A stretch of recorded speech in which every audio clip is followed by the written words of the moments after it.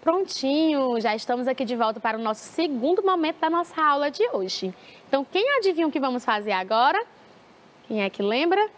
Ah, a leitura de leite, que é um momento para vocês ficarem ó, nas nuvens, apreciarem, viajarem pelo mundo da imaginação, certo?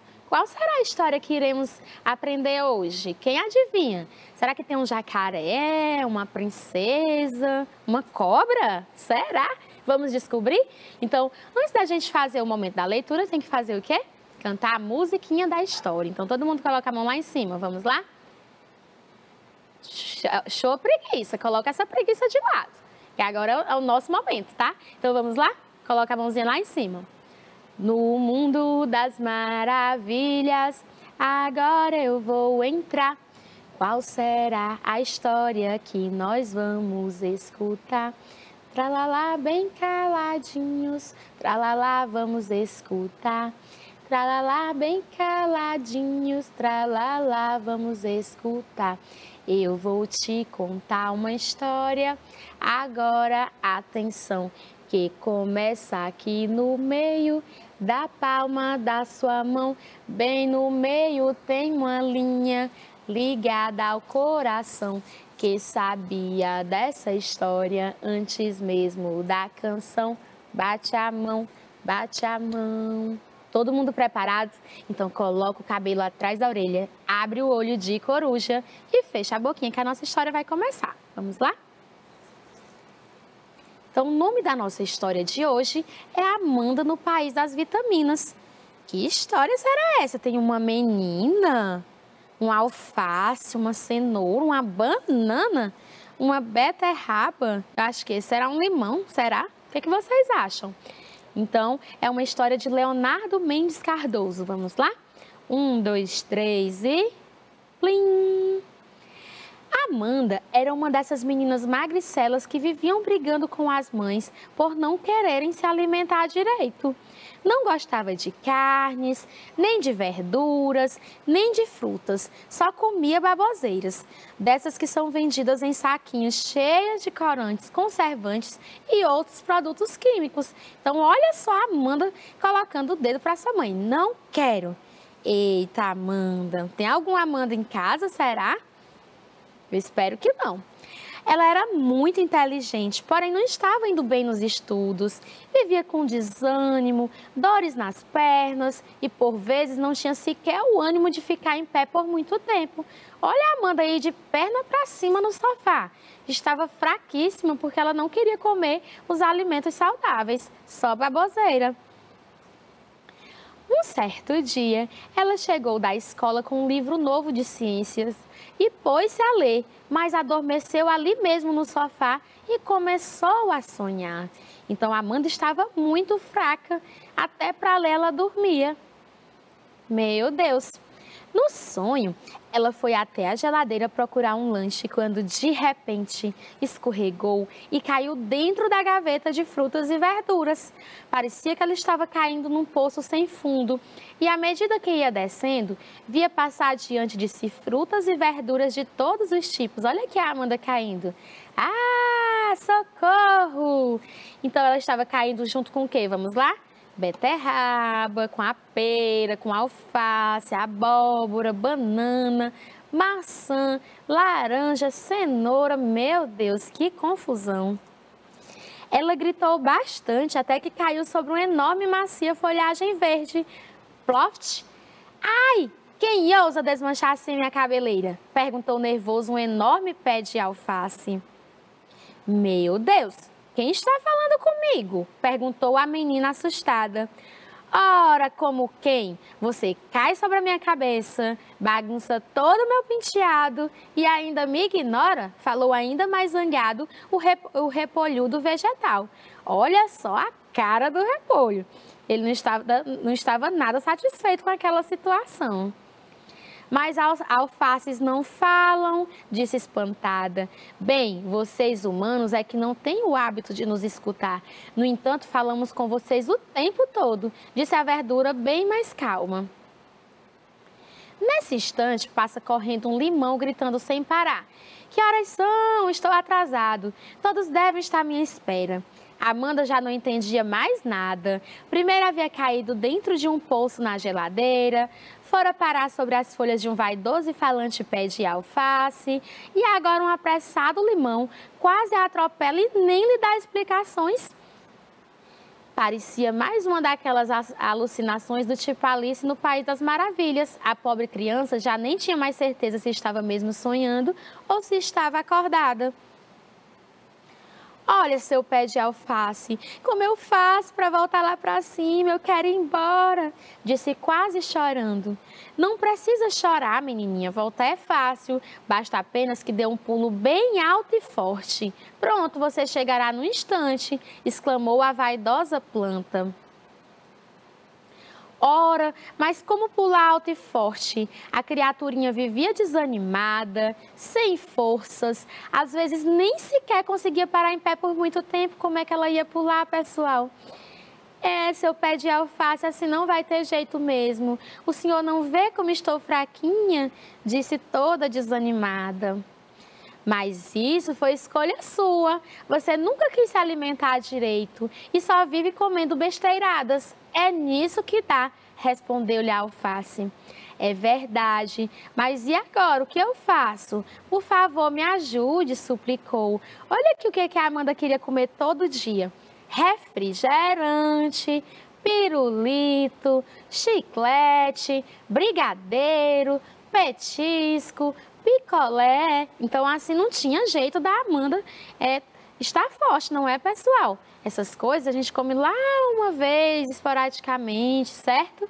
Então, a gente deve ser. É, o que mantém a gente forte é a alimentação saudável. Então, a Amanda nunca ia conseguir sair daquela, daquela geladeira, pois ela estava muito fraca. Novamente passou o limãozinho correndo e gritando como sempre, achando-se atrasado. Mas atrasado para quê? Aonde vai parar? Aonde vai com tanta pressa? Me espera. Amanda saiu correndo também. É, a pobrezinha estava mesmo fraca. Nem bem correu por alguns metros e já estava toda suada e com um cansaço terrível. Ora, ora! Mas não é a Amanda, aquela menina que me detesta? Perguntou uma vistosa beterraba. Olha, dona Beterraba, eu já estou me convencendo da importância de todos os bons alimentos. Mas, por favor, me ajude a voltar lá para cima, suplicou a menina. Amanda, só há um jeito de voltar. Você precisa recuperar suas forças com uma alimentação rica em proteínas, ferro e principalmente vitaminas, disse a beterraba. Vários são os componentes que possuímos e que irão lhe ajudar. Por isso é importante diversificarmos a alimentação e, de preferência, deve, é, devemos ser consumidos crus, continuou. Então, olha aqui o que a Amanda deveria comer para ficar forte: cenoura, alface, limão, laranja, abóbora, batata, batata inglesa, batata doce, beterraba, cebola, banana, arroz, maçã, pera. Tudo isso iria deixar a Amanda bem forte. Eu, por exemplo, sou rica em ferro e vou protegê-la junto com a couve, o espinafre e o fígado contra a anemia, explicou. Olha que o músculo da dona Beterraba estava bem forte, não estava? Aquele limãozinho que você perseguia é rico em vitamina C, que irá ajudá-la a vencer essa indisposição, dores nas pernas e fraqueza. Falou com ares de sábia a corada beterraba. E assim estendeu-se a conversa, com a pequena Amanda prestando atenção aos mínimos detalhes. A Amanda já ia saindo quando, de repente, o afobado limão trombou-se com ela e ambos rolaram no chão. Ploft! Puxa, até que enfim, acho que poderemos nos falar. Afinal, para que tanta pressa? perguntou curiosa. Ora, como para quê? Para ajudá-la, é claro, exclamou a fruta. Todo esse tempo corri para reunir um pouco de cada um de nós para alimentá-la e com isso recuperar-lhe as forças para que você possa voltar lá para cima, disse com carinho. E assim foi feito. Amanda comeu cada pedacinho de verdura e legume e bebeu cada gole de suco de frutas como se nada mais gostoso existisse. Que legal! Não precisou muito tempo para que ela se fortalecesse, despediu-se de todos os novos amigos e, num salto só, pôs-se a caminhar de seu lar. De repente, Amanda acordou aos pulos com sua mãe lhe chamando para o jantar.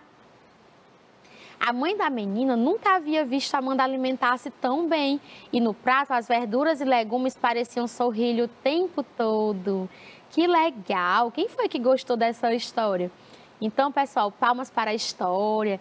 Então, a história fala sobre a importância de se manter uma alimentação saudável, certo? Espero que aí em casa não tenha nenhuma Amanda que nem a da história. Então, é importante uma alimentação saudável para você viver bem, para você viver com saúde, com energia, com disposição, certo? Não que de vez em quando a gente não possa é, comer um chocolate, um picolé, certo?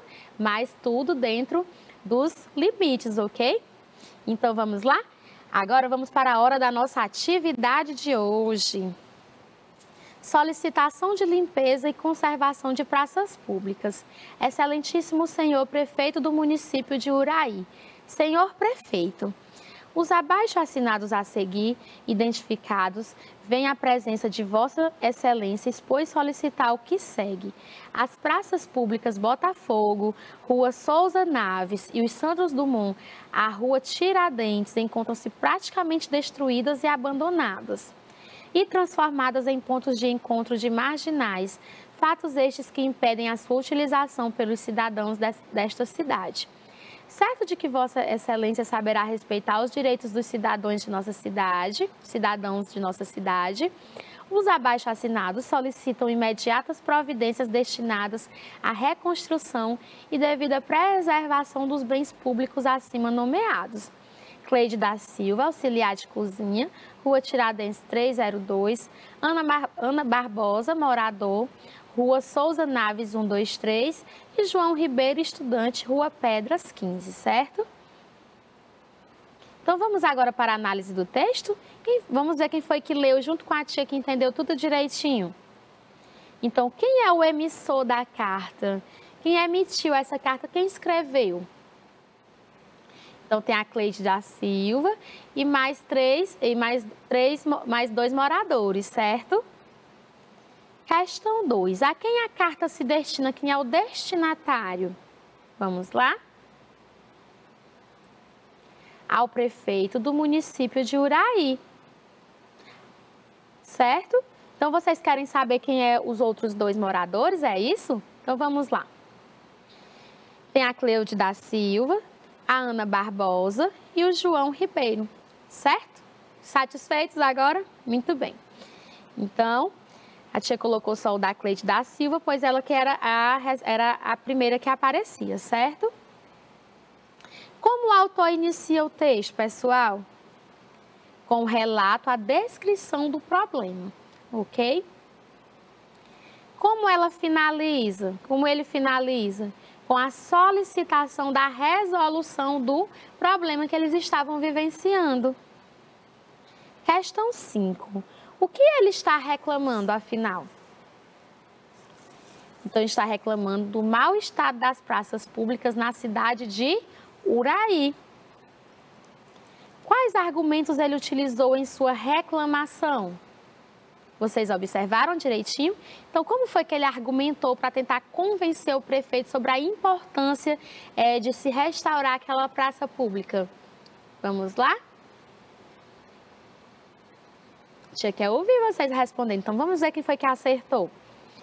Que as praças estão destruídas e abandonadas e transformadas em pontos de encontro de marginais. Fatos estes que impedem a sua utilização pelos cidadãos de Uraí. De Uraí. Além disso, há uma lista de abaixo-assinado que mostra que o problema é um incômodo para várias pessoas e não somente para um emissor. É tão tal que havia três remetentes naquela carta, além de um abaixo-assinado com todo mundo que estava insatisfeito, certo? O abaixo-assinado foi utilizado como um anexo é, para comprovar realmente que aquele problema estava afetando toda a comunidade, certo? Então, esses argumentos, eles tentam persuadir a pessoa que irá receber aquela carta, no caso destinatário, destinatário que era o prefeito de Uraí, a realmente é, entender aquela problemática e intervir para resolver, certo, pessoal? Que linguagem foi utilizada, a coloquial ou a formal? Vamos lá? Foi utilizada a linguagem formal, pois era uma carta ao prefeito da cidade, certo? Como vimos na nossa aula anterior, se fosse para um amigo, um primo, um parente, uma pessoa que possui uma intimidade, poderia ser uma carta pessoal. Mas como é para, é, bem que no, é, nesse caso, como é para uma pessoa pública, certo? Que irá intervir para resolver um problema de toda a comunidade. Foi utilizada uma linguagem formal, uma linguagem que obedece à norma culta da nossa língua, certo?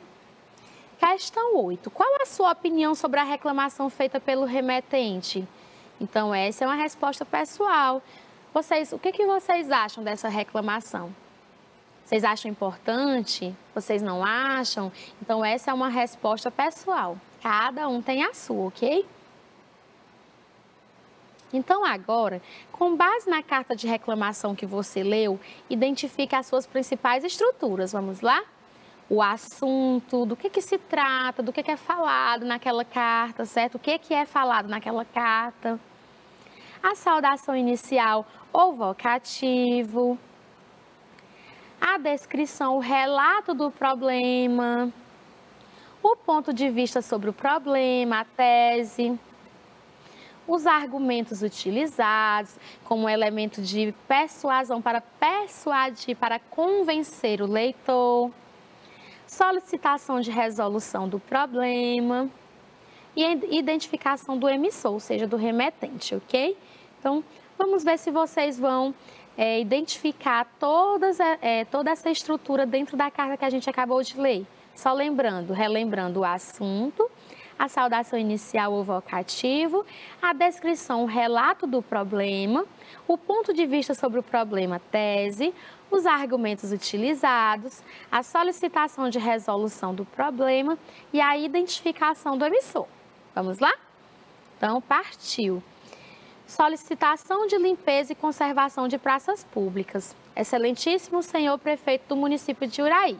Vamos reler a carta para vocês agora irem buscando esses elementos dentro da carta lida? Então vamos ler junto com a tia. Um, dois, três e já. Senhor prefeito, os abaixo assinados a seguir identificados, vem à presença de vosso, Vossa Excelência, expôs solicitar o que segue. As praças públicas Botafogo, Rua Souza Naves, e a Santos Dumont, a rua Tiradentes, encontram-se praticamente destruídas e abandonadas e transformadas em pontos de encontro de marginais, fatos estes que impedem a sua utilização pelos cidadãos desta cidade. Certo de que Vossa Excelência saberá respeitar os direitos dos cidadãos de nossa cidade, os abaixo assinados solicitam imediatas providências destinadas à reconstrução e devida eh, preservação dos bens públicos acima nomeados então, Cleide da Silva, auxiliar de cozinha, Rua Tiradentes 302. Ana Barbosa, morador, Rua Souza Naves 123. E João Ribeiro, estudante, Rua Pedras 15. Certo? Então, é, como vocês viram, não era apenas uma praça, eram várias, certo?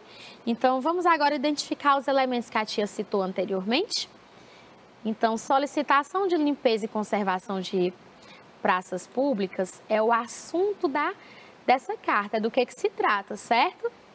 Então, excelentíssimo senhor prefeito do município de Uraí, a saudação inicial, certo? Juntamente com o nome do destinatário, que no caso é o prefeito do município de Uraí. Agora, essa parte, pessoal, os abaixo assinados a seguir é, identificados, vem à presença de Vossa é, Excelência expor e solicitar o que segue.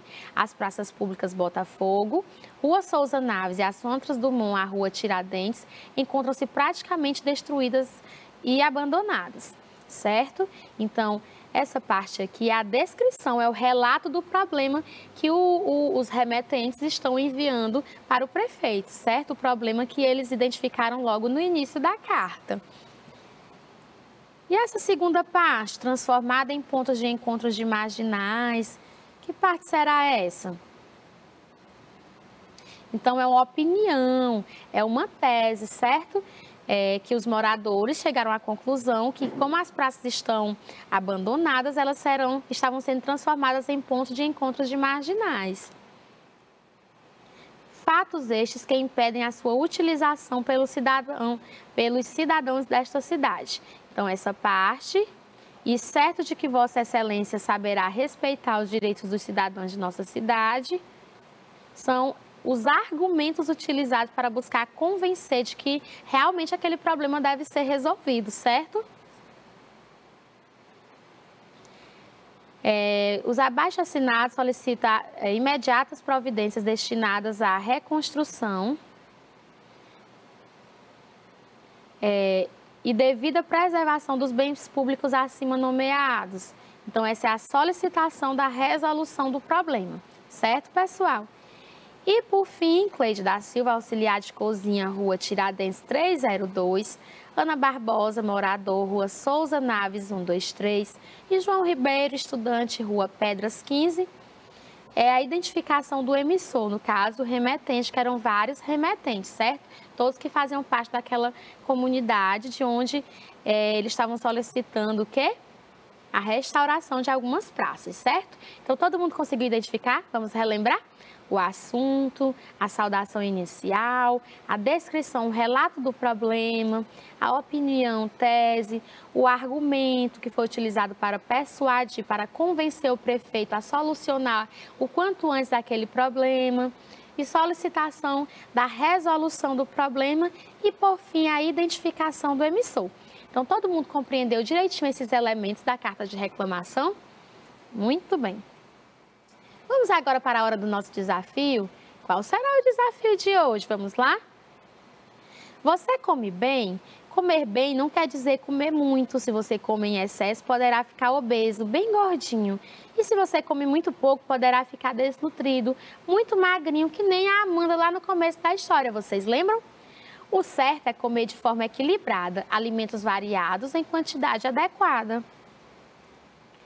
Então, caça palavras, encontre os alimentos que são saudáveis, certo? Então, vocês deverão encontrar o nome frutas, arroz, feijão, legumes, verduras, carne, leite, pão e ovo. Vamos lá? A tia vai dar alguns segundos para vocês encontrarem.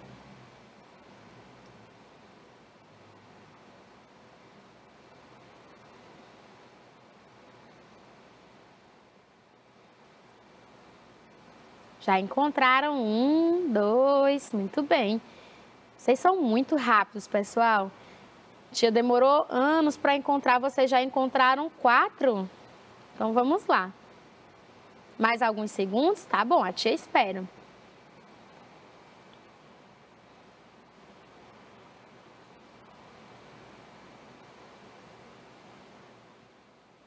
Pronto, podemos continuar?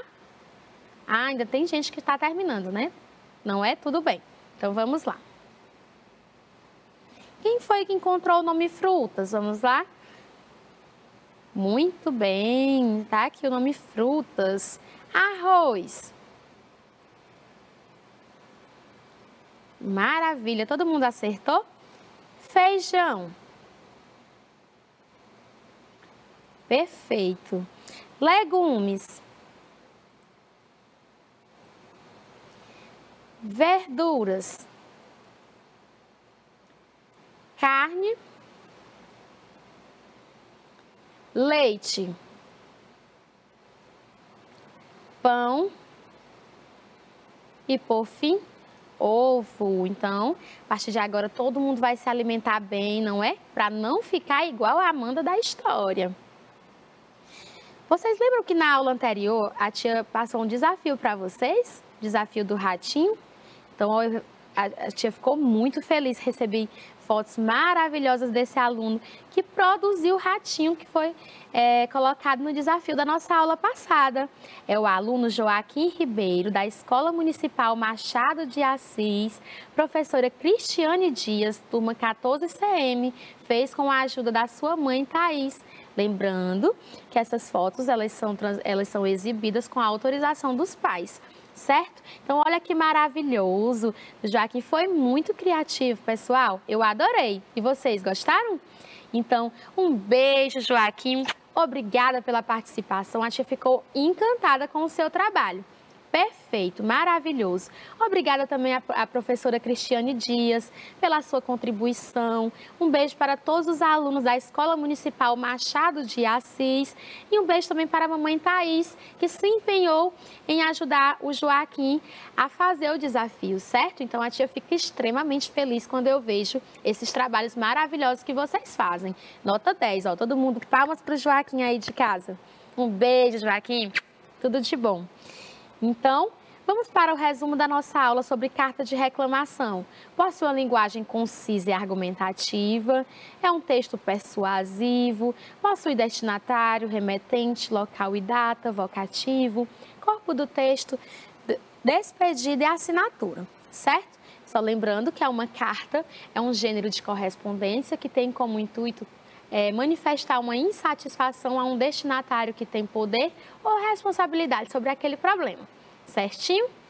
E vamos para a nossa mensagem final. Pensamento do dia. Ofereça sempre o seu melhor a quem quer que seja. Ofereça o que você tem de mais bonito, de íntegro, de sincero, de elegante, de delicado, de gentil e de simples.